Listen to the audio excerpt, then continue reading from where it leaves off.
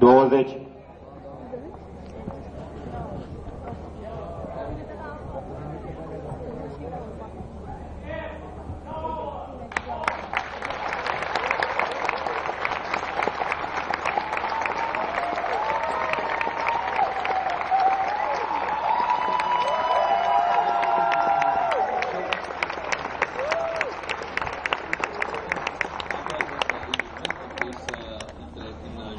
Timpul este din ce în ce mai scurt. Premiul de 200.000 de euro, cel mai mare premiu oferit uh, vreodată de o televiziune din România pentru un concurs de uh, gen, stă să fie câștigat. Pe 1 ianuarie, odată cu noul an, aflăm și cine este următorul X Factor.